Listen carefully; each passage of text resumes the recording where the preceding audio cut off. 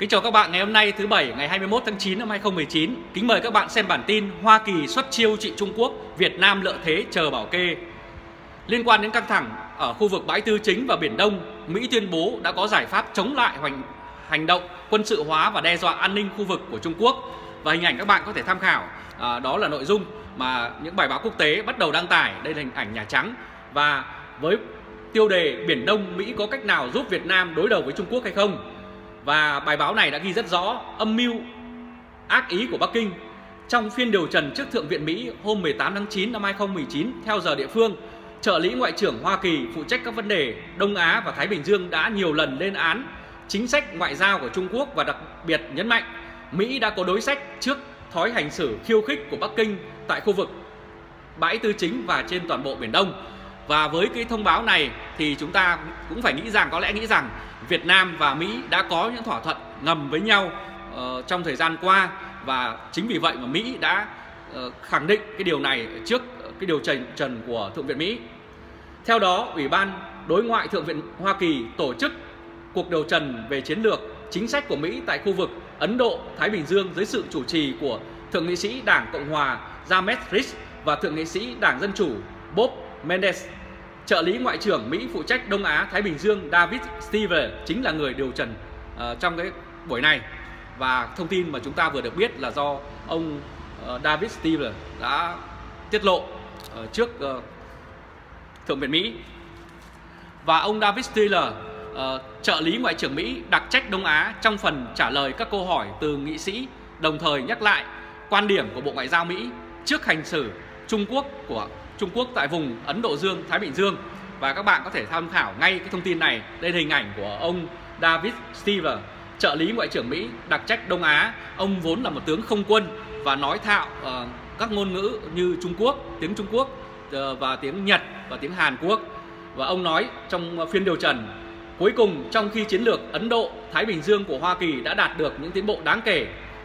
để củng cố và thúc đẩy tự do và cởi mở ở khu vực Ấn Độ, Thái Bình Dương Chúng tôi ngày càng lo ngại một số quốc gia đang tích cực tìm cách thay đổi cuộc chơi, thách thức trật tự này. Chúng tôi cam kết làm việc với bất cứ nước nào theo đúng luật, nhưng đồng thời Mỹ cũng sẽ sẵn sàng đứng lên chống lại và thực hiện các biện pháp cần thiết nhằm vào bất cứ cường quốc nào sử dụng chiến thuật săn mồi để không làm ảnh hưởng đến hòa bình và ổn định trong khu vực. Ông nói. Trích tuyên bố của trợ lý ngoại trưởng Mỹ phụ trách khu vực Đông Á Thái Bình Dương phát biểu trong phiên điều trần trước Ủy ban Đối ngoại Thượng viện Mỹ ngày 18 tháng 9 vừa qua. À, đấy là nội dung mà ông đã nói. Và ông David ờ, uh, Saver cũng nêu quan điểm thêm của Bộ Ngoại giao Mỹ như sau. Đây là hình ảnh của Bộ Ngoại giao Mỹ, các bạn có thể thấy. Bắc Kinh theo đuổi chiến lược tầm nhìn thay thế những chính, chính sách hiện có của Mỹ và gây nhiều thách thức mới cho khu vực Ấn Độ Thái Bình Dương. Họ đang tìm cách sắp xếp lại trật tự khu vực có lợi cho mình trong đó Đáng chú ý là yêu cầu các quốc gia khác ủng hộ chính sách hoặc là những yêu sách của họ. Chính điều đó đặt Trung Quốc vào vị thế cạnh tranh chiến lược với tất cả những quốc gia khao khát giữ gìn tự do và trật tự cởi mở tại khu vực này. Trợ lý Ngoại trưởng Mỹ đã khẳng định như vậy.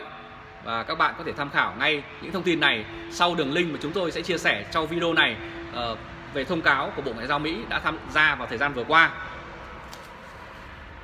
Và hình ảnh mới nhất hôm nay cho thấy các hoạt động thăm dò của Trung Quốc vẫn đang tiếp tục tại vùng đặc quyền kinh tế của Việt Nam, à, nơi mà Việt Nam tuyên bố chủ quyền. Đây là hình ảnh các bạn có thể thấy là chiếc tàu Hải Dương 8. Theo ông David Stever nói thêm, từ đầu tháng 7, các tàu Trung Quốc đã thực hiện các cuộc khảo sát hàng hải gần khu vực bãi tư chính dưới sự hộ tống của các tàu hải giám cùng lực lượng cảnh sát biển Trung Quốc có vũ trang cũng như đông đảo các lực lượng dân quân biển để đe dọa Việt Nam và các nước ASEAN tránh xa khu vực kiểm soát của Bắc Kinh trong khi đang tiến hành hoạt động khai thác dầu khí hợp pháp trên vùng khu vực vùng đặc quyền kinh tế và thềm lục địa của họ trên biển Đông. Đấy là điều mà đã được điều trần trước Quốc hội Mỹ thời gian vừa qua mà trong nước ở Việt Nam có lẽ các bạn cũng không được uh, cung cấp đầy đủ những thông tin như vậy vì báo chí trong nước gần như im lặng toàn bộ cái thời gian uh, khi Trung Quốc uh, tuyên bố uh, chủ quyền của họ ở ngay bãi tư chính uh, của Việt Nam. Và đặc biệt nghiêm trọng khi uh, Trung Quốc đi thăm dò trong vùng đặc quyền kinh tế của Việt Nam ngay tại thời điểm này thì phía Trung Quốc đã dùng rất nhiều tàu hải cảnh được trang bị ờ, bán vũ trang và rất hung dữ được gia cố đặc biệt để có thể đâm hút tất cả những tàu cảnh sát biển của Việt Nam hoặc những tàu của Việt Nam lai vãng lại gần. Và một trong những chiếc tàu đó mà chúng tôi ờ, đã trích dẫn từ một hình ảnh của trang của Trung Quốc đó là tàu hải cảnh số 35111 của Trung Quốc và chính chiếc tàu này hiện nay đang hoạt động trong vùng đặc quyền kinh tế của Việt Nam cùng với đội tàu rất đông, là 6 tàu hải cảnh đang liên tục quần đảo xung quanh tàu Hải Dương 8 để hộ tống chiếc tàu này. Và đây là một trong những chiếc tàu đó để các bạn thấy ờ, phía mũi của nó rất nhọn và được gia cố rất cứng với nhiều tấm kim loại để có thể đâm hút thủng bất cứ tàu nào đi lại gần tàu Hải Dương 8 và hình ảnh gần đây nhất chúng ta cũng có thể thấy ờ, được chia sẻ của ông Phạm Thắng Nam là một người nghiên cứu về Biển Đông. Ông đã chia sẻ vào ngày hôm qua, ngày 20 tháng 9 năm 2019, Hải Dương 8 tiếp tục hoạt động sâu tại vùng đặc quyền kinh tế của Việt Nam. Đường khảo sát được thực hiện vào ngày hôm qua song song với bờ biển Việt Nam và khá gần bờ biển. Có điểm của tuyến khảo sát này chỉ cách mũi La Gàn, Bình Thuận 144 km, cách mũi Dinh, Ninh Thuận khoảng 140 km và rất nguy hiểm các bạn. Đây ờ, chúng tôi xin ờ, chia sẻ gần để các bạn cùng biết. Thì như vậy là với những cái đường của chiếc tàu Hải Dương 8 và những tàu hộ tống của Trung Quốc này, thì bất cứ ngư dân Việt Nam nào nếu đi đánh bắt gần khu vực này thì sẽ bị xua đuổi. Và nếu không kịp thì có thể bị đâm chìm và đâm hỏng thuyền bởi vì họ đã nói ờ, phía Trung Quốc đã đưa ra ờ, thông báo của Bộ Ngoại giao vào ngày 18 tháng 9 vừa qua nói rằng khu vực bãi tư chính này là của Trung Quốc và Việt Nam phải rút tất cả các tàu cũng như giàn khoan và không được khai thác dầu khí cùng với những nước khác ngoài Trung Quốc. À, đấy là điều mà Việt Nam tới đây chắc chắn sẽ phải rất mệt mỏi với người đồng chí, mặc dù cùng ý thức hệ cộng sản với Việt Nam, nhưng à, liên tục tìm mọi cách để thôn tính chủ quyền của Việt Nam ở trên biển. Và đường thăm dò ờ, của đội tàu Trung Quốc, gồm có tàu Hải Dương 6 và tàu Hải Cảnh tiến ngày càng sát vào với bờ biển Việt Nam. Và điều đó gây rất lo ngại với 6 tàu hộ tống tàu Hải Dương 8 ờ, sau đây Ờ, các thiết bị đã được đo đạc và bật lên thì ông Phạm Thắng Nam đã chia sẻ hình ảnh. Ngày hôm nay gồm có những tàu số 35111, tàu 37111 và nhiều tàu khác thì số lượng tàu rất lớn. Và các bạn thấy ờ, cái đường mà họ đang tiếp tục quần đảo và thăm dò trên vùng đặc quyền kinh tế của Việt Nam là rất nghiêm trọng và rất rộng lớn. Thì nếu với thông tin này thì các bạn thấy ờ, dường như Việt Nam đã bị mất chủ quyền biển đảo vào phía Trung Quốc và không thể làm được gì và không thể ngăn cản được những cái ờ, vụ đo đạc và những cái xâm phạm chủ quyền này của Trung Quốc. Và đứng trước các diễn biến nghiêm trọng trên, Hoa Kỳ sẽ không im lặng và sẵn sàng đối đầu với Trung Quốc. Và điều đó Hoa Kỳ đã nói trong ờ, một loạt những cái công bố vừa qua. Và đây là hình ảnh các bạn có thể thấy đây là hạm tàu sân bay thuộc hạm đội 7 của Trung Quốc đi vào biển Đông trong thời gian qua. Và phía Mỹ cho rằng về mặt kinh tế, chính phủ Trung Quốc sử dụng một loạt chính sách không phù hợp với tự do và giao thương công bằng, bao gồm các biện pháp hạn chế tiếp cận thị trường quy trình phân biệt đối xử với các nhà đầu tư Mỹ, Mỹ thao túng tiền tệ, ép buộc chuyển giao công nghệ, thậm chí là trộm cắp tài sản trí tuệ và tạo ra năng lực công nghiệp phi thị trường vượt quá khả năng xây dựng cơ sở sản xuất của Bắc Kinh, lợi dụng chi phí của các đối thủ cạnh tranh. Và các bạn cũng đã biết, nếu mà không có bỏ tiền ra để nghiên cứu thì đương nhiên là Trung Quốc sẽ bán được hàng với giá rất rẻ và số lượng lớn. Thông qua các sáng kiến như một vành đai một con đường, Bắc Kinh đã gieo nợ cho phần lớn thế giới tại các quốc gia đang phát triển với hàng trăm tỷ USD cho vay để đầu tư cơ sở hạ tầng không rõ ràng dẫn đến các vấn đề như gánh nặng nợ, yếu tố phát triển không bền vững và hủy hoại môi trường.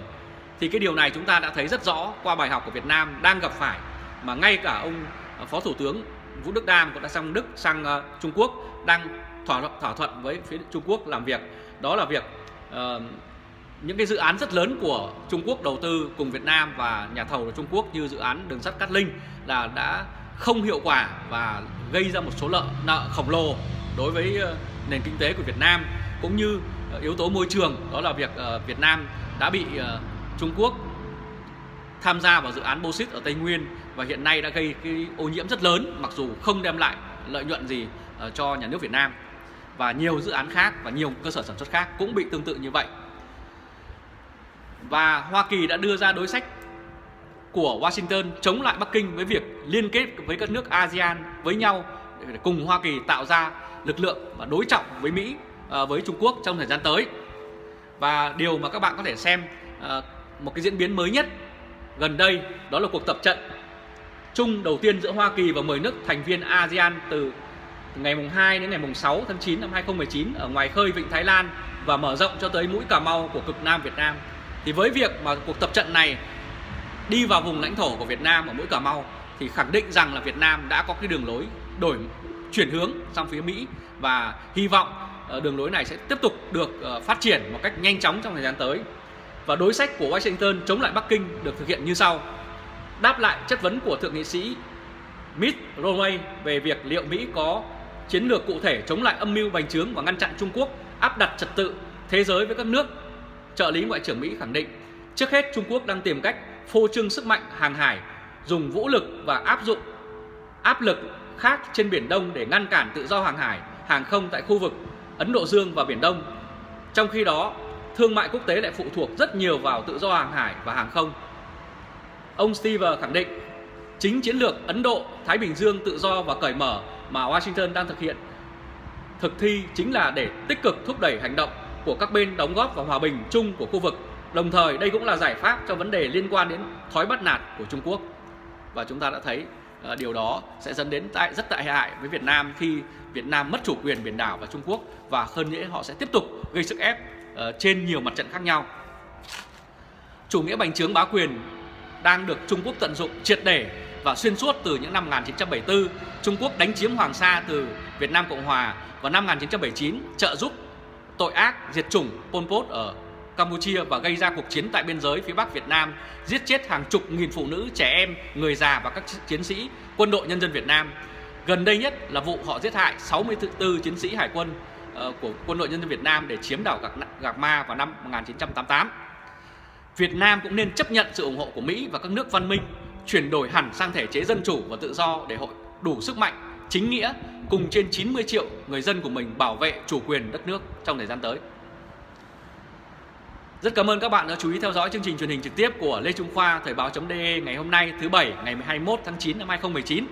Các bạn hãy để lại những bình luận sau video này cũng như chia sẻ cho nhiều người cùng biết và uh, cung cấp cho chúng tôi những cái yêu cầu mong muốn để chúng tôi có thể cập nhật và cung cấp thông tin với các bạn trong thời gian sớm nhất, trung thực nhất. Chào các bạn, hẹn gặp lại các bạn vào chương trình lần tới. Từ Berlin, Cộng hòa Liên bang Đức, thứ bảy.